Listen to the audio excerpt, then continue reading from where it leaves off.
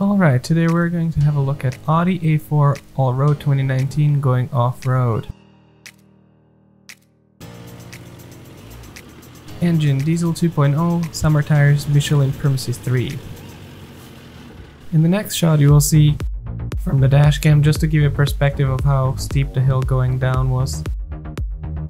The car didn't scrape the bottom at all and this is from front view with the dashcam combined. Going downhill, obviously the traction control didn't have to kick in. Up the same hill, two wheels are off the ground, front left and rear right. So the traction control had to figure it out, but let's look at it in slow motion.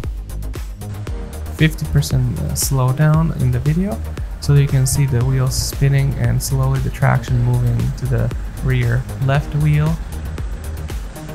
And then pushing the car slowly off and then again rear right slips again and front left and the car pushes it off. That's all folks, thank you very much and subscribe.